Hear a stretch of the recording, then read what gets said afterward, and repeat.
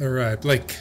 Yes. Blake, uh, where'd you grow up? Where are you from originally? I am from Fresno, California, which is up north a little bit from here, about four or five hours.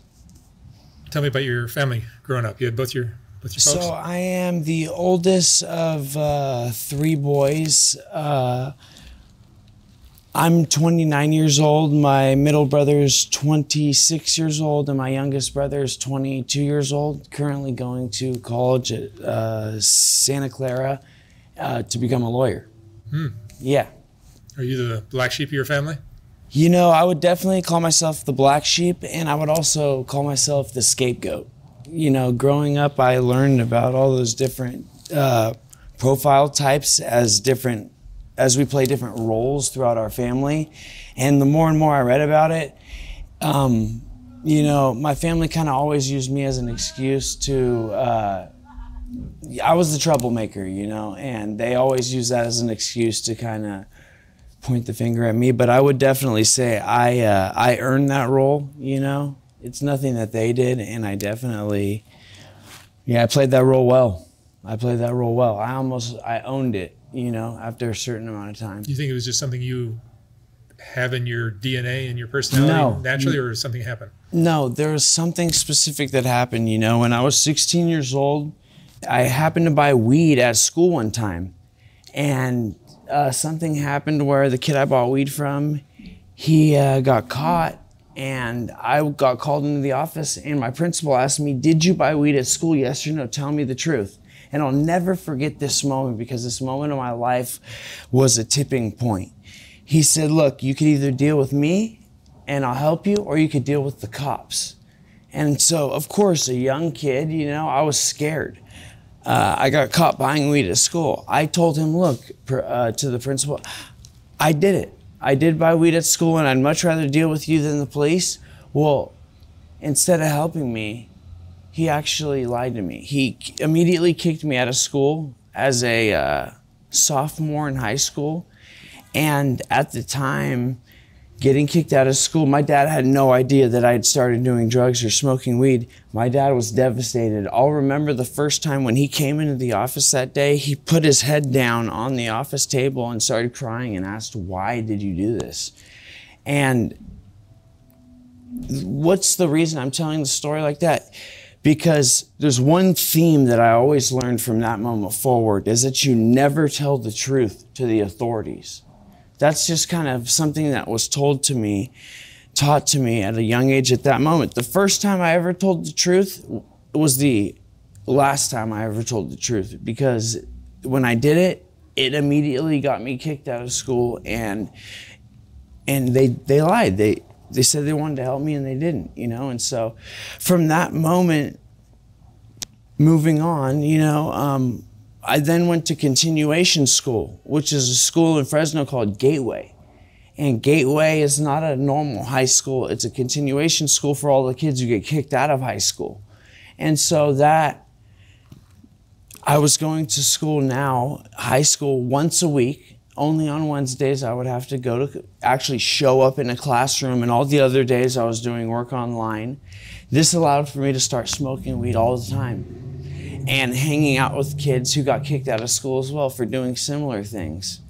And so the ball kind of got rolling uh, for me to be that scapegoat, me to be that troublemaker, like I always, you know, like I said, I always owned up to. Yeah. You graduated eventually. So uh, from there, okay, um, from there, I went back to high school my junior year, and uh, something I didn't mention yet, but since a young age, since the age of about nine years old, I've played baseball very competitively. I was on the best travel ball team in Fresno called the Twin City Twins. That's from the age of nine to about 12. I was on the River Park All Star Little League team, which was the first team in Fresno to ever go to the actual Little League World Series that's on, on television that you watch, you know. We were on television and we were the first team from Fresno to ever do that.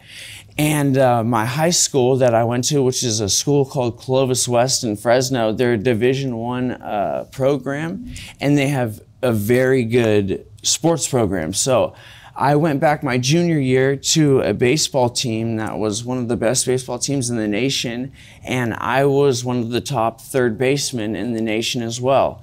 And so, um, something that always helped me was that even though I got in trouble, I was an athlete. And you know, athletes in high school get taken care of. They get uh, they get tutors. You know, they get the benefit of the doubt with their teachers. They get uh, they can take their tests at different times because they have games, and so their teachers will kind of show them more leeway. So the fact that I was a baseball player definitely saved my ass because I was always. Um, I was always getting into trouble, but they, but, but I was such a good third baseman that my coaches would figure out a way, you know, to get me out of trouble and to make sure that I was there on game day. And so, uh, yeah, I went back as a junior, had a great junior year. I had a great senior year, and I uh, eventually ended up getting a college scholarship to go play baseball in college. So, uh, the scholarship I got was to a Christian private school in Fresno. I'm a Christian I was to a Christian private school in Fresno called Fresno Pacific. And um, Fresno Pacific. Um, so I went to a Christian private school, and coming from a high school that was really like all about partying and drugs, going to a, a college program like that, I felt like I went backwards. You know, I wasn't allowed to have girls in my dorm room. Uh, we had a curfew. There was a zero tolerance policy for alcohol and drinking. And so, like I said, I, I, uh, I didn't enjoy this college that I had chosen to go to. And so I, uh, I told you this when I met you. The main theme of my life and my story is that I feel like there's always this piano about to fall since I got kicked out of school as a 16 year old because um, I feel like there's always this piano that's about to fall. So rather than let the piano fall and wait in suspense, I go cut the cord right away so at least I can say I am in control of it. It's like this illusion of control that I want to have. And so um, I told you that I didn't really enjoy the college I had chosen. So I started doing cocaine every single night. And uh, I actually got kicked out of college as a freshman as well for doing cocaine and ecstasy as a baseball player. And so I got kicked out of high school as a freshman and I got kicked out of my first college as a freshman as well, both because I kept both because I chose to keep doing drugs instead of and enjoy the life as an athlete, you know. I, uh, I was very fortunate to get an experience that not a lot of people get in life. First of all, going to college, um, I was the first. My dad never went to college, so I was the first man in um, my family to get a college degree. That was very. I'm very blessed to have that opportunity. And not only that, I was very blessed to get the uh, experience as an athlete in college as well, which you think it's cool in high school. In college, you're getting free gear, you're getting, you know, uh, newspaper articles written about you. And so for me to fuck that up, excuse my language, am I allowed to cuss? Sure. For me to fuck that up because I wanted to keep getting high, uh, something my dad always taught me was you can get high when you're 80 90 years old man you know? Do it then. You do all the drugs you want because you're you know at that point you got nothing to lose. But when you're young and you have this body you know and you're an athlete you have this opportunity to see something that not a lot of people get to do take advantage of that. Don't don't take it for granted because one day you're going to look back on it and you're going to regret it. And so I got kicked out of college as a freshman um, took a year off, went to a city college for another year, and had such a good year as a sophomore at the city college. I got another scholarship to go play baseball now in Monterey. And so, Monterey, I don't know if you've ever heard of Santa Cruz. Santa Cruz is one of my favorite places in the world, Santa Cruz, California. Monterey is an, another city near Santa Cruz. And so uh, I got a scholarship to a Division two there called Cal State Monterey Bay. And uh,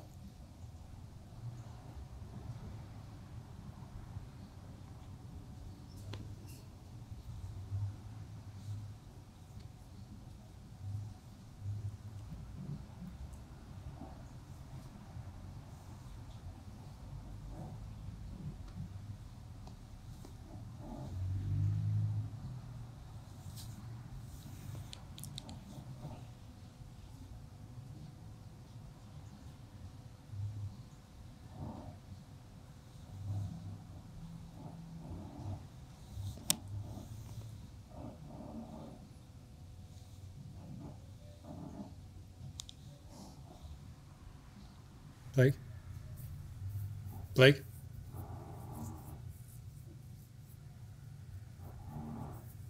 Blake? Blake?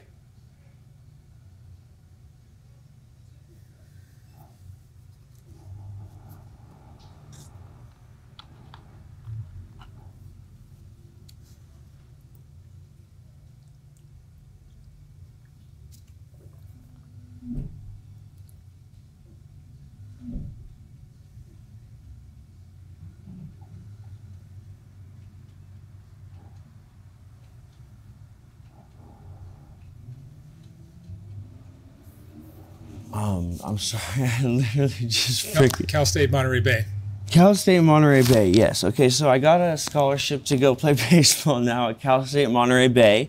I had one of the greatest years playing baseball of my whole entire life. Um, I then got a scholarship to a Division two in Santa Cruz, like I was telling you, called uh, Cal State Monterey Bay.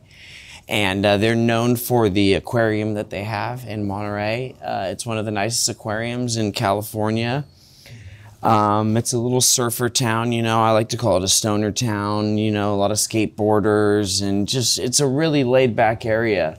And it just so happens that my parents also have a house in a place called Capitola there, which is like a really uh, bougie, high class little um, surf town that's you know real preppy and a lot of people of a uh, that of an older age demographic live there and a wealthier age or wealthier demographic as well but um, i went to uh, cal state monterey and had two of the greatest years um, of my life there just overall it was two years where i actually wasn't deep in my addiction because I left my hometown for once. And so I wasn't able to readily get drugs like I always was when I was in my hometown.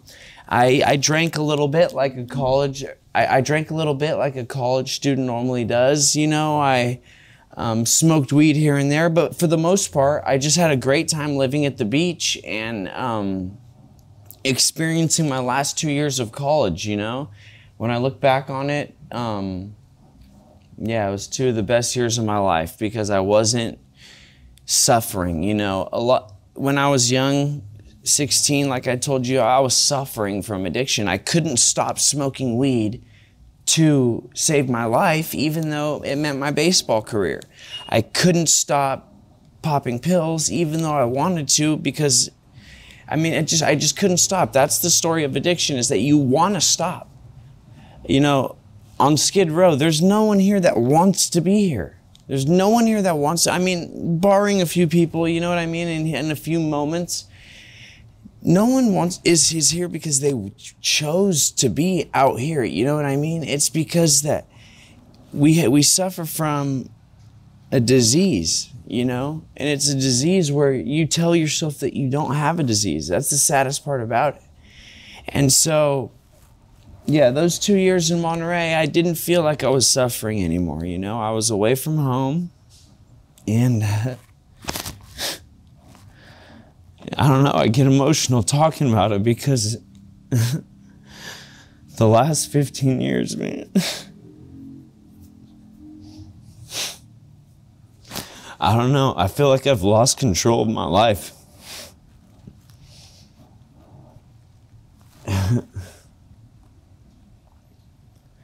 there's been a lot of suffering, you know, and a lot of like loneliness and when I graduated from college, you know, I went and I started working for my dad as a manager of his company. And uh, I grew up as a welder. You know, my dad has a welding company in Fresno, the biggest manufacturing company uh, in the United States. And so I grew up as a welder. I started welding when I was 13 years old, welded to when I was 26. And then when I was 26, I started managing the company. I managed operations for him, I, which means that I got the welders what they needed to build the equipment. I would go get the parts, I would organize shipments and everything, whatever. I'd set up everything so they had what they needed to build the equipment. Well, during this time, I met a girl that I, uh, I fell in love with. She's, i I'm 100% Armenian. That's my, my ethnicity. And so that means that I, I need to find a girl who's 100% Armenian as well so that way I can continue the bloodline and our kids are 100% Armenian and yeah. So I met a girl who was Armenian just like me and it seemed like a match made in heaven. Uh, this girl was way too good for me way too good for me. She was a Sunday school teacher she was a 29 year old virgin and she was if I am the devil she was an angel. You know what I mean? It was like polar opposites. And for the first time in my life she made me want to do better. She made me want to stop doing drugs. She, because because I knew I wanted to marry this girl, um, I knew that I didn't want to be I didn't want to be hiding my drug addiction from her the rest of my life. I didn't want to lie to this girl. If I was going to marry her, I had to be honest and I had to be able to trust her. And so something uh, that changed my life happened. Uh, I, I for the first time in my life, so for so for 10 to 15 years, I had been hiding my addiction from everyone, from my parents, from my girlfriends, from my coaches, from my family. I always hid it. Even though I got kicked out of school, I was always good at hiding it and keeping my appearance good from the outside. Well, once I started dating this girl, I decided that I'm going to tell my family and I'm going to tell my girlfriend that I have been suffering from addiction. I've been taking pills every day, going to work. I can't go to work without taking pills. I can't wake up even and get out of bed unless I take 20 to 40 pills. And um, no, all of it. Once I told my family that I had an addiction, at first, you know, they were by my side. They said that they were going to help me out. They sent me to my very first rehab. And uh, I went to rehab. I was sober for one, two months, and then I relapsed. And, you know, they supported me again, sent me to my second rehab where they were still supporting me. And uh, went to my second rehab and you know, two, three rehabs go by and the story of relapse, and all of a sudden my family, they don't have hope anymore. You know what I mean? They went from very hopeful to they start reading about addiction online and the statistics and all the different things about you're an addict for your whole life. Once they start reading these things, they, they started to lose hope. And uh, yeah, when I admitted that I had an addiction, my life changed. My house got sold. Um, I lost my job. I lost my girlfriend. I lost my dog. I lost my car. I lost it all. I lost everything. And since that day, um, the last two years, I've been going to rehab, relapsing, living on the street. And I mean, that's what brought me to Skid Row. I was in rehab three weeks ago. Three weeks ago, I was in rehab. I got kicked out of rehab for. Um, for hooking up with a girl in rehab. I got kicked out. That rehab was in Orange County. Uh, when I got kicked out, I came here. That's that's how I ended up here in Skid Row, and I've been here for three to four weeks ever since then. But it came from me going to rehab. I, I mean, I want. I to this day, I still want to be clean. I really do. What is your drug? My drug of choice is, first of all, marijuana. Like I said, it started with marijuana. Then it's opiates. Started with Norcos, eventually went to heroin. Now nowadays it's fentanyl. Nowadays it's fentanyl. I smoke heroin at times or fentanyl when I could find it. You know what I mean? But that's expensive as hell. And then crystal meth. Xanax. The only thing I really don't do is drink. I've never been a drinker just because I, I don't know why. Alcohol to me is just, I, I just don't do it. But there's really no drug that I, I don't do. Are there, are there addicts in your family? I am the only addict in my family that I know of. I have one uncle who is an alcoholic, and he now is a born again Christian, doesn't drink at all, but I am the only addict in my family. And that's the toughest part about it. My, it's weird because that's not true. My family and my culture is full of alcoholics, but it's different. Alcoholics are looked at vastly different than drug addicts. And that's one of the main differences is they look at me like i have this problem but they drink all day even at work even on sundays and they don't see that as a problem. It's no different you know what i mean? But I, for me to say that is almost like an excuse to them. You know they don't want to hear it. They don't have a problem. It's me that has a problem. And so uh, yeah yeah it's just it's tough to deal with because all the information they have is they have no experience with it. It's all coming from the internet. It's all coming from what other people say. And man, I've tried so hard to fucking to help them understand what it's like, but I just I don't I don't I don't think they can understand. Where are, you, where are you staying now? Right now I'm staying I'm in a tent. Staying in a tent on Skid Row that with a with someone I just met a couple weeks ago and and uh How are you supporting yourself? There is no supporting myself. I haven't eaten any food in seven days, man. I just carried a fridge 10 miles last night that I found on the street to hopefully sell it today to get some money to, to hopefully, you know what I mean, go get some food and get high. But you know, the truth is, is that uh, this this opportunity right here was one of the best things that I could ever do because um, you know, I, I want to go back to rehab. I still have insurance. I still have insurance that's really good. And so I want to go back to rehab. You know, there's also a bunch of arrests in my story. There's a lot of arrests that I didn't even mention. And, uh, you know, it's not that they're important, but the fact of the matter is, is that rehab is where I need to be. It's not that I want to. Do I want to be in jail? No. I want to be in a, in a facility getting better. You know what I mean?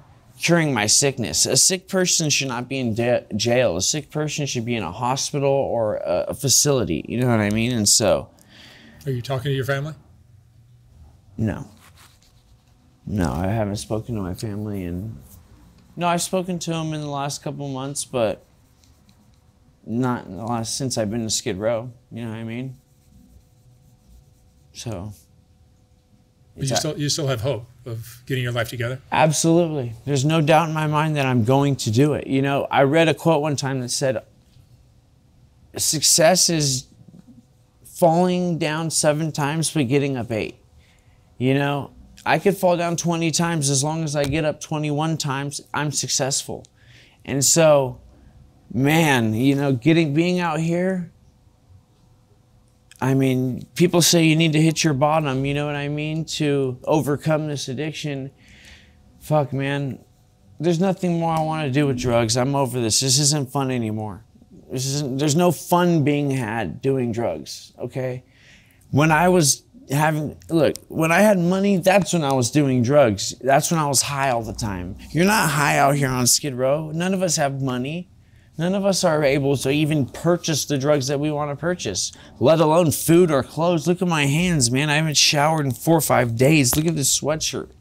You know what I mean? Look at my hair. Look at this beard. Like, I can't even tell who I am when I look in the mirror. You know? If you saw a picture of me or you saw what I looked like when I was working and when I was doing it, just it, it's it's fucking scary, dude. But um, you know, this is what drugs does to people, and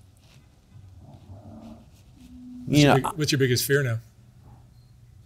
my biggest fear is that my mom or my dad die while I'm out here, you know, and I don't get a chance to fucking be there for them, you know, or I miss out on something important because I'm I- I'm a family person, you know. I'm the oldest, like I said, of all my brothers, and You know, you can't trust anyone out here, man. It's fucking terrible, dude.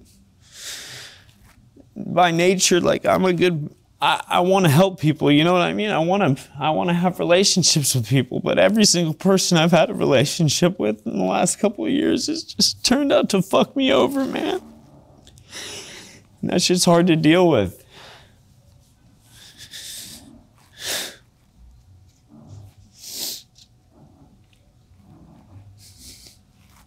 Like, what, what would you say is the most important lesson you've learned in your life?